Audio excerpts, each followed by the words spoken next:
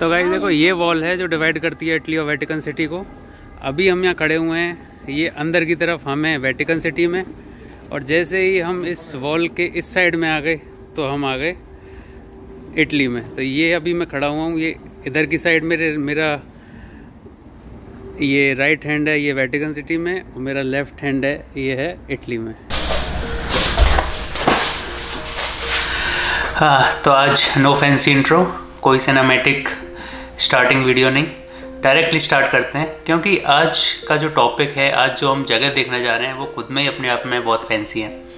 तो आज एक्चुअली हमारा प्लान था रोम में, वो तीन जगह घूमने का था।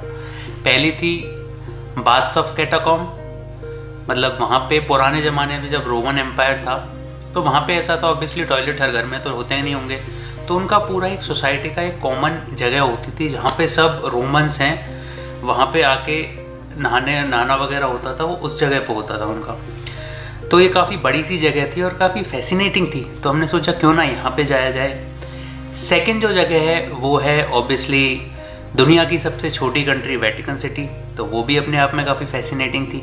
और थर्ड जगह जो हम गए, वो था कैटाकॉम्स तो कैटाकॉम्स होते हैं एक्चुअली पुराने ज़माने में क्या होता था, अगर कोई मर जाता है क्रिश्चियंस में तो उनको एक जगह ऐसा रख के और पूरे ढक के रख दिया जाता था। तो पहले इतनी जगह नहीं होती होगी, या ऐसा कॉन्सेप्ट नहीं होता होगा। तो क्या करते थे? एक ही जगह पे, एक के ऊपर, एक के ऊपर, एक बिल्डिंग टाइप बनी रहती थी। तो वहाँ पे एक कैटाकॉम था, जिसमें more than five hundred thousand पाँच लाख से ज़्यादा लोग उसमें वहाँ पे इस तरह से दफन थे। तो वो भी सोच के काफ़ी ऐसा थोड़ा अलग भी लगता है और थोड़ा ऐसा डरावना सा भी लगता है। तो मिक्स्ड काइंड ऑफ़ फीलिंग थी। लेकिन एक्साइटमेंट बराबर था तीनों चीज़ों देखने का।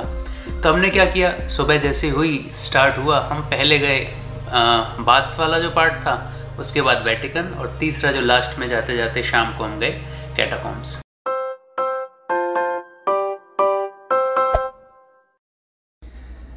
तो रोम में ये हमारा होटल है, ये काइंड ऑफ़ एयर बी है। घर है, इसके अंदर तीन रूम है। किचन वगैरह सब इंक्लूड है तो काफ़ी अच्छा रहा हमारा यहाँ पे स्टे तीन दिन के लिए हमने यहाँ पे बुक किया है और देखो, इस तरह की कोई शांत गली है। और सबसे अच्छी बात यह है कि यहाँ पे जो कॉलोजियम है तो कॉलोजियम यहाँ से एक डेढ़ किलोमीटर है। तो हमें आराम से, जब कॉलोजियम भी गए थे हम तो आराम से वॉक करके गए थे। तो ये इस चीज़ का यहाँ पे रहने का बेनिफिट था। अगर आपको भी यहाँ पे रुकना है तो मुझे कमेंट सेक्शन में बता दो। मैं आपको इस एयर का जो लिंक है, वो डिस्क्रिप्शन में दे दूँगा।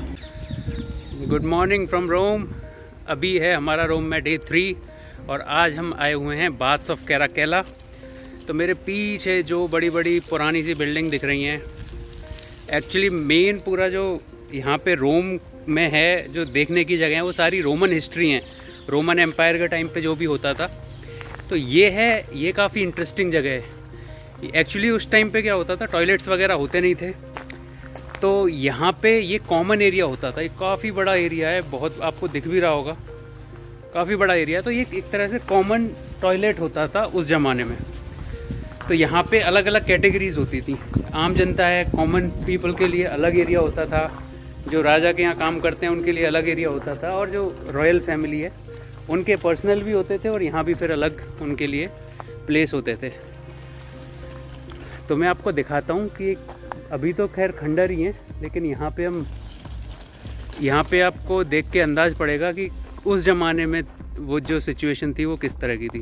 तो देखो, इस तरह का है, पूरा खंडर का सा एरिया लग रहा है। अपना भी आपको पता चल रहा होगा कि काफ़ी पुरानी बिल्डिंग है तो ये रोमन एम्पायर के टाइम का है। और उस ज़माने में भी देखो आप कितनी कितनी बड़ी बिल्डिंग्स और अब तक ये टिकी हुई हैं। हालाँकि अभी ये पूरा खंडर ही खंडर दिख रहा है और इसमें काफ़ी रिनोवेशंस भी हुए हैं। लेकिन यहाँ पे फिर भी उस ज़माने की चीज़ों को काफ़ी अच्छी तरह से इंटैक्ट करके रखा हुआ है। अभी हमको रोम आए हुए करीब तीन दिन हो गए चौथा दिन चल रहा है, लेकिन फिर भी अभी तक जेट लैग है, वो उतरा नहीं है। अभी भी हमारा ऐसा हो रहा है कि कैनेडियन टाइम है, उसके हिसाब से ही हम जग रहे हैं, उसी के हिसाब से सो रहे हैं। रेहान के साथ भी ऐसा हो रहा है। रेहान है, वो जनरली शाम को सो जाता है, यहाँ के टाइम और और करीब 10-11 बजे रात को जग जाता है। तो सेम हमारे साथ हो रहा है। पूरी रात हम जगे हुए हैं। शाम को पाँच बजे सो गए थे और रात को बारह बजे के आसपास फुल ज़ोर लगाने के बाद बारह बजे से ऊपर तो सोया ही नहीं गया। और अभी फिर कोशिश कर रहे हैं कि यहाँ के जो टाइम जोन है उसमें थोड़ा एडजस्ट कर लें, लेकिन अभी काफ़ी प्रॉब्लम हो रही है और हमको रात को हमारी बस है फ्लिक्स बस, जो हमको लेके जाएगी वेनिस तो आज हमको निकलना भी है। तो आज हम मेनली यहाँ पे जैसे ये पॉइंट था, ये देखना था। एक्चुअली इसकी फ़ीस है टिकट है वो एट यूरो है तो इतनी भी ज़्यादा नहीं है, लेकिन हिस्ट्री यहाँ पे आपको अगर हिस्ट्री में इंटरेस्ट है तो ये काफ़ी इंटरेस्टिंग जगह है। देखो यहाँ पे खंडर में एक पेंटिंग भी बनी हुई है, जो उसी ज़माने की पेंटिंग है। ये शायद ये क्रिश्चियनिटी से रिलेटेड कुछ है, क्योंकि यहाँ पे उस टाइम पे क्रिश्चियनिटी के ही बिलीवर्स थे सारे। लेकिन देखो वो भी कितनी हाइट पे बनाई हुई है और कितना अच्छे से ये पूरा बना हुआ है। देखो, यहाँ पे सारी इन्फॉर्मेशन लिखी हुई है। इधर, उस ज़माने में भी ये स्विमिंग पूल होता था। देखो, यहाँ पे अभी गड्ढा सा दिख रहा है। तो उस ज़माने में ओलंपिक साइज़ का पूरा स्विमिंग पूल होता था। यहाँ पे इसकी पूरी इन्फॉर्मेशन दे रखी है। अगर आपको पढ़ना है तो मैं थोड़ा सा इस पर जूम कर देता हूँ। यहाँ पे केवल ऐसा नहीं था कि नहाने का ही था। यहाँ पे एक्चुअली सब इकट्ठे होते थे। यहाँ पे गेम्स का भी मैंने अभी देखा था। तो यहाँ पे बैठ के गेम्स भी खेलते थे। है ना? तो एक तरह से पूरा शहर के सारे लोगों को एक जगह इकट्ठा होने का पॉइंट था ये। ग्रीक रोमन लैंग्वेज में कुछ लिखा हुआ है। तो आई थिंक इसका मतलब पॉडिटेरियम है। अपॉडिटेरियम लिखा हुआ है। इसका मतलब यहाँ पे देखो मार्बल भी उसी ज़माने की है। कैसे छोटे छोटे पत्थरों को जोड़ के और पूरी फर्श बनाई हुई है। तो आई थिंक यहाँ पे स्विमिंग पूल वगैरह या फिर नहाने के लिए जो मार्बल होती है, उसके लिए इस तरह के पत्थरों का यूज़ किया जाता होगा। लेकिन देखो, अभी भी आप इसको खंडर को देख के अंदाज लगा सकते हो।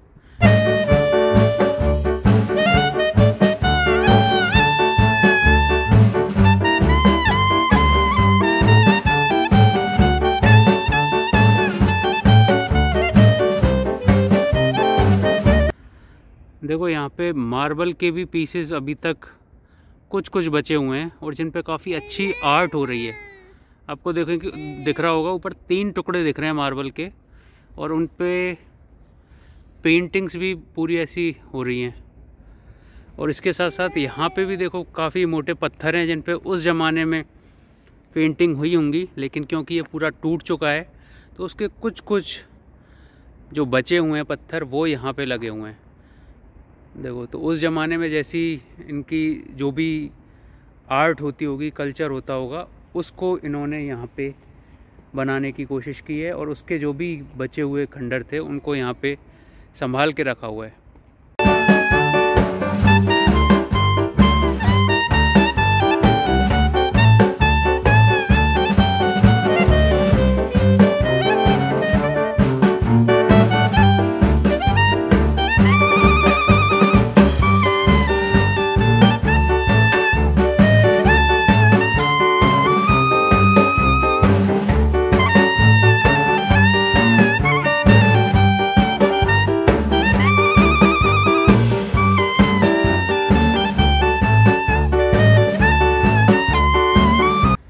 तो हमने रोम के जो मैक्सिमम प्लेसेस हैं, जो यहाँ पे फ़ेमस हैं, वो कवर कर लिए हैं। केवल हमारी लिस्ट में बचा हुआ है वेटिकन सिटी जो हमने लास्ट के लिए बचा के रखा हुआ था। अभी सुबह का टाइम है, ज़्यादा टाइम हुआ नहीं, अभी साढ़े नौ बजे हुए हैं। तो पूरा दिन है हमारे पास।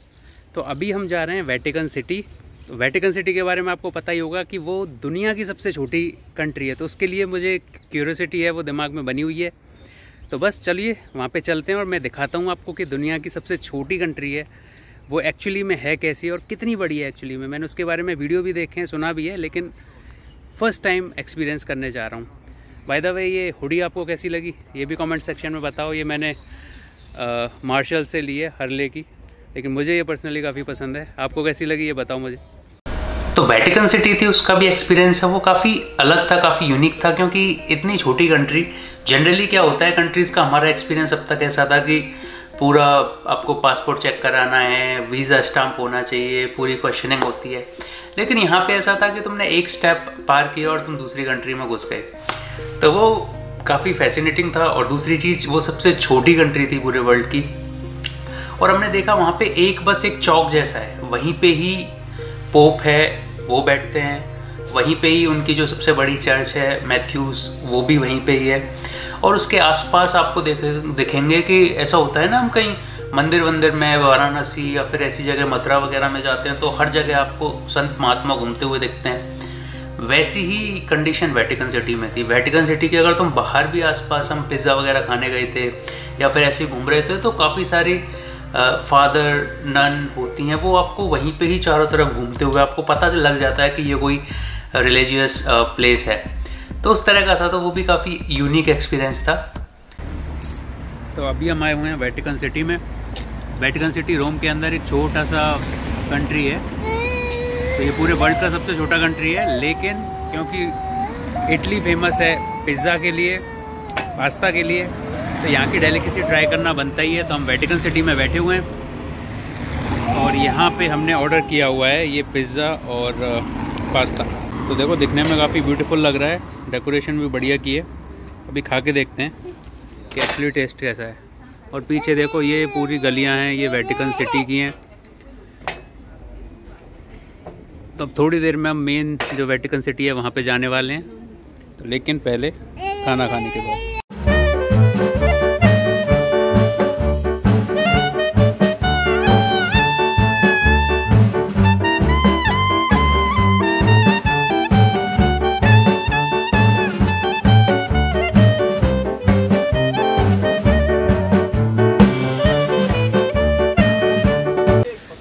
फाइनली हम आ चुके हैं वेटिकन सिटी मेरे चारों तरफ़ आप देख रहे हो, ये है वेटिकन सिटी तो देखो, यहाँ पे आपको एक वॉल दिख रही होगी, ये प्लर दिख रहे हैं। प्लर के बीच में से आप देखोगे, गौर से तो यहाँ पे एक मोटी सी वॉल है।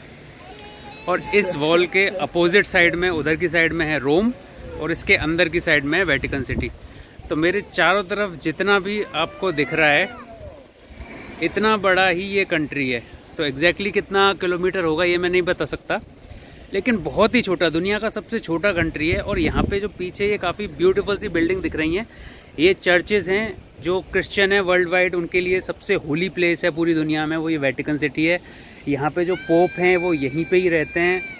और अभी कुछ दिन पहले आपने देखा होगा कि नरेंद्र मोदी यहाँ इटली आए थे और वेटिकन सिटी में पोप से मीटिंग हुई थी तो वो यही लोकेशन है, यही जगह है।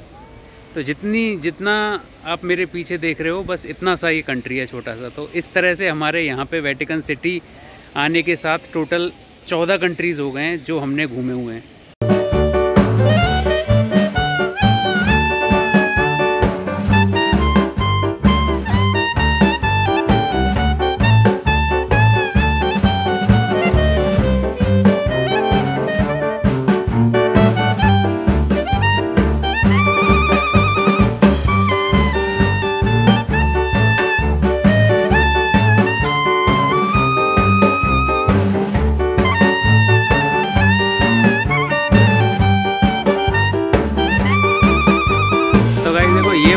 डिवाइड करती है इटली और वेटिकन सिटी को।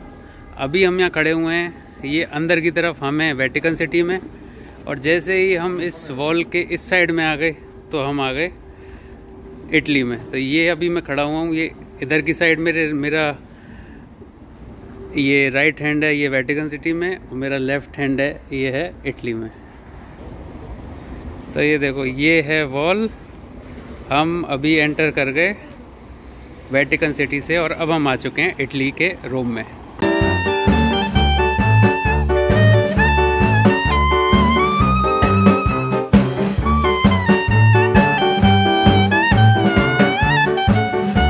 तो ये है इटली की आइसक्रीम इसको बोलते हैं जिलाटो तो हमने दो फ्लेवर लिए हैं यहाँ से जिलेटेरिया ये वेटिकन सिटी के जस्ट बाहर है।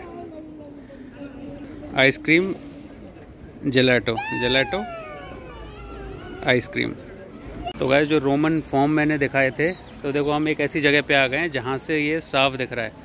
मेरे पीछे देखो, अगर आपको बिना टिकट के ये देखना है तो ये एक बहुत बढ़िया लोकेशन हमें मिली है। सब कुछ यहाँ से फ्री में दिख रहा है और यहाँ से कॉलेजियम भी सामने दिख रहा है। मैं आपको बैक कैमरा करके दिखाता हूँ। देखो, ये सामने कॉलेजियम है, सामने जो दिख रहा है, ये वाला, ये और ये रोमन फॉर्म्स हैं। तो जो रोमन एम्पायर था, वहाँ पे जब किसी ज़माने में यहाँ पे महल वगैरह एमपी थिएटर वगैरह होते होंगे, अभी यहाँ पे बस उनके रिमेन्स बचे हैं। तो ये देखो, यहाँ से क्लियरली सब कुछ दिख रहा है। और फाइनली हम गए कैटाकॉम्स तो कैटाकॉम्स हमारे एक्चुअली प्लान में था नहीं, लेकिन वो लास्ट मोमेंट पे, क्योंकि हमारी सारी जो देखने की जगह हो गई थी, जो फ़ेमस प्लेसेस थे तो हमने सोचा इसके अलावा और क्या है, हमारे पास एक्स्ट्रा दिन है। तो फिर हमने उसको ऐड किया। लेकिन वो काफ़ी अच्छा लगा। वहाँ पे रिकॉर्डिंग अलाउड नहीं थी, लेकिन मैंने आपके रेफरेंस के लिए यूट्यूब से कुछ क्लिप्स हैं, वो ला के लगा दिए कि आपको अंदाज़ पड़ जाए कि अंदर था कैसा। वो काफ़ी डरावना भी था, लेकिन साथ में उसकी हिस्ट्री भी अटैच थी। और गाइड था, वो गाइड बता रहा था कि यहाँ पे ये कई किलोमीटर में अंदर फैला हुआ है, उसको खुद को भी पूरा रास्ता इसका नहीं पता। तो वो इसीलिए गाइडेड टूर था एक्चुअली गाइड वहाँ पे एक मस्ट था कंपलसरी था, क्योंकि खुद से अगर आप वहाँ पे जाओगे तो उसमें खो जाओगे, आपको खुद को भी, उसको गाइड को भी पूरे रास्ते नहीं पता थे। तो उन्होंने फिक्स पाथ बनाया हुआ था, उस पाथ पे ही गाइड लेके जाता था। उसने बताया भी था कि कुछ 20-25 मिनट से ज़्यादा यहाँ पे रुक नहीं सकते, अब उसका क्या रीज़न था ये मुझे पता नहीं, लेकिन ओवरऑल वहाँ का एक्सपीरियंस था, वो काफ़ी अच्छा था। तो आज की हमारी फाइनल डेस्टिनेशन है रोम में, वो है ये कैटाकॉम इसकी टिकट हमने बाय कर ली है। एक्चुअली ये एक प्लेस है जहाँ पे ज्यूज़ के साथ कुछ ट्रेजडी हुई थी तो कई ज्यूज़ को यहाँ पे दफनाया गया था। तो इस तरह की कुछ इसकी हिस्ट्री है। एग्जैक्टली exactly अभी हमें टूर गाइडेड टूर है तो इंग्लिश का गाइड है, हमने हायर कर लिया है। तो एग्जैक्टली exactly उसमें पता चलेगा। लेकिन अनफॉर्चुनेटली यहाँ पे शूटिंग अलाउड नहीं है फ़ोटो खींचना मोबाइल भी अलाउड नहीं है, कैमरा मोबाइल कुछ भी। तो मैं अंदर जाके रिकॉर्ड नहीं कर पाऊँगा, लेकिन बाहर से मैं आपको दिखा देता हूँ। और जो भी वहाँ पे गाइड गाइडेड टूर में बताएँगे, उसका मैं आपको एक ब्रीफ दे दूँगा। तो मुझे भी एग्जैक्टली पता नहीं है कि एक्चुअली इसकी हिस्ट्री क्या है। देखो, यहाँ पे लिखा हुआ है कैटाकॉम तो ये सिटी से थोड़ा बाहर की तरफ़ है, और यहाँ पे आई थिंक बस भी बाहर ही छोड़ देगी आपको। हम टैक्सी से आएँ तो काफ़ी टैक्सी भी जो मेन रोड है, उससे कम से कम तीन चार किलोमीटर अंदर आती है, तब जाके यहाँ पे हम आते हैं। तो ओनली टैक्सी अवेलेबल है यहाँ के लिए। बिल्कुल ही आपको गेट तक आना है। वॉक करके आना है तो आप वहाँ से भी आ सकते हो। ये है, ये एंट्रेंस है इसकी। यहाँ से हमको एंट्री करनी है। टिकट हमने ये जो सामने ये वाला दिख रहा है तो यहाँ पे स्टोर है जहाँ से टिकट मिल रही हैं। टिकट ख़रीद लिए अभी एक्चुअली आधे घंटे में हमारा टूर स्टार्ट होगा तो जब तक हम बैठ के यहाँ वेट कर रहे हैं, आधे घंटे बाद टूर स्टार्ट करेंगे। रियान को नींद आ गई है तो ये अभी अपने स्ट्रोलर में ही सोया हुआ है।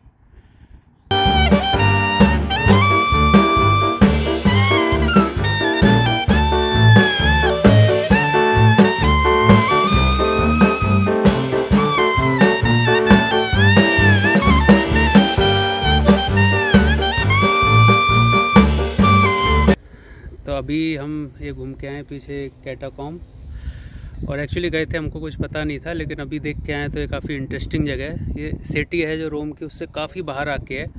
और यहाँ गाइड ने हमें बताया कि करीब करीब पाँच लाख फाइव हंड्रेड थाउज़ेंड लोगों को यहाँ पे दफनाया गया है। उनको, उनके लिए प्रॉपर स्पेस बने हुए थे पुराने ज़माने में। मतलब एक के ऊपर एक ऐसे तीन चार फ्लोर का था वो। और उसमें करीब पाँच लाख लोगों को यहाँ पे दफनाया गया है। और उस टाइम पे रखने के लिए जो दिए होते थे, उसकी जगह बनी हुई थी। और ये अंदर पूरा एक ऐसा है कि आप भूल सकते हो मतलब गलियों, काफ़ी सारी गलियाँ हैं और ये बहुत, कई सारे किलोमीटर में अंदर फैला हुआ है। तो इन शॉर्ट काफ़ी इंटरेस्टिंग जगह है। अगर आपको हिस्ट्री पे इंटरेस्ट है तो आप यहाँ पे ज़रूर आ सकते हो।